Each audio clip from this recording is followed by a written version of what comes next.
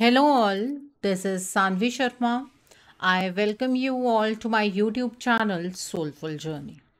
आइए जानते हैं आज की एनर्जी आपकी और आपके पार्टनर की किस तरह की रहने वाली है आज आप अपने पार्टनर के बारे में क्या सोचने वाले हैं आपके पार्टनर आपको लेकर क्या सोचेंगे आइए जानते हैं आज की एनर्जी आपकी और आपके पार्टनर की किस तरह की होगी सो so, मैं रेंडमली इस डेक को दो पार्ट्स में डिवाइड कर लेती हूँ। सबसे पहले हम देखेंगे।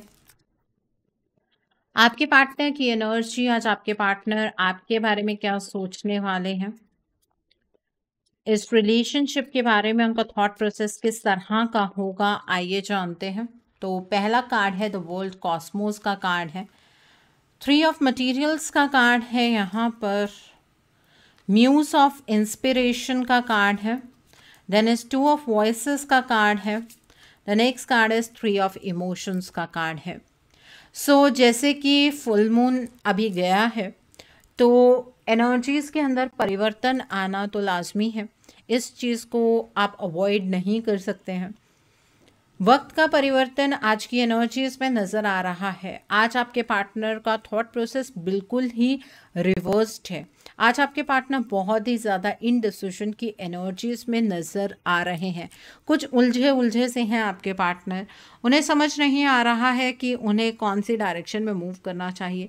जिस भी डायरेक्शन में वो मूव करने की कोशिश करते हैं, एक बैकवर्ड फोर्स उन्हें पीछे की ओर खींच रही है आज।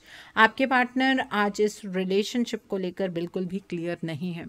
उन्हें इस रिलेशनशिप में किस तरह से आगे बढ़ना है, इस चीज़ के बारे में उन्हें कुछ समझ नहीं आने वाला है। आज आपके पार्टनर बहुत ही ज़्यादा पेन एक्सपीरियंस करने वाले हैं। आपके पार्टनर की आज रियलाइजिंग एनर्जी ज़्यादा नज़र आ रही हैं।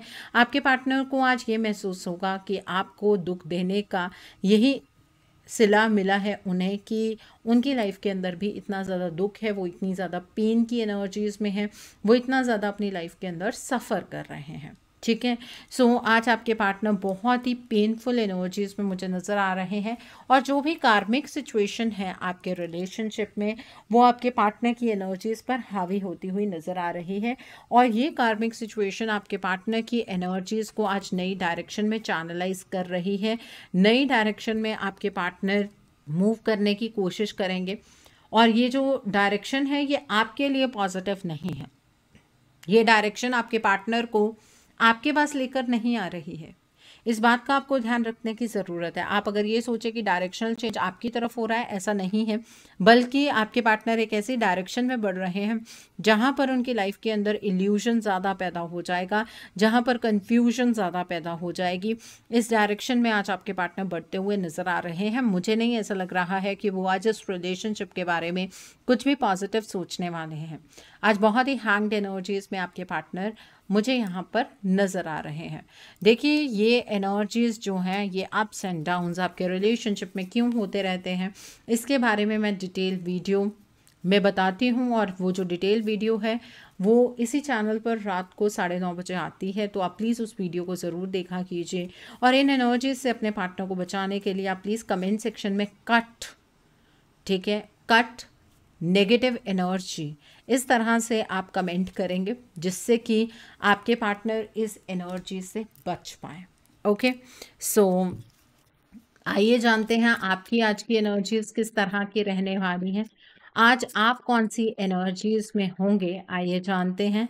आपकी एनर्जीज आज किस तरह की होंगी?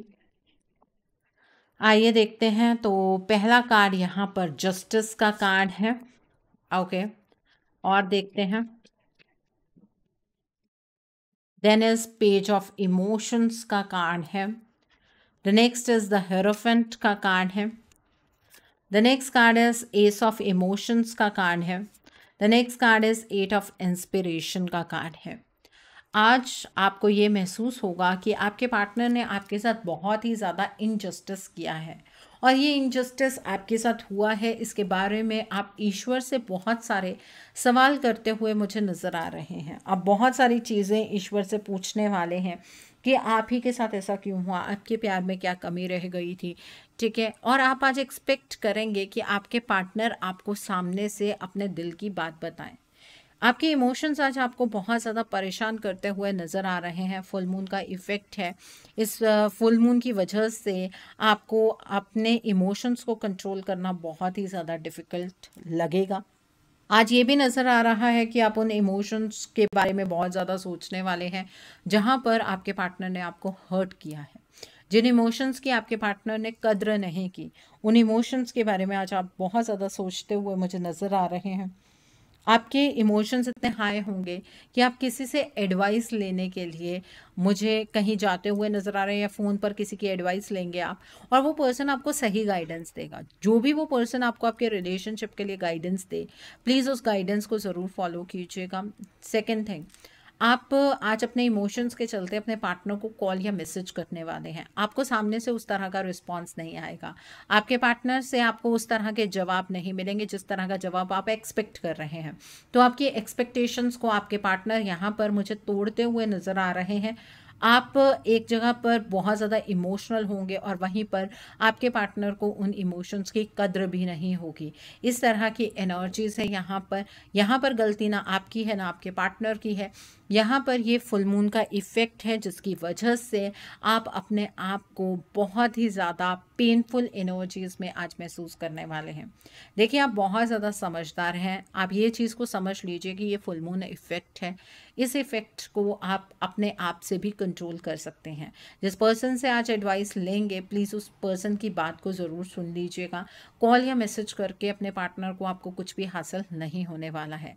आज अपनी समझदारी से एनर्जीज़ को चैनलाइज कीजिएगा have a great day today God bless you all take care of your health see you soon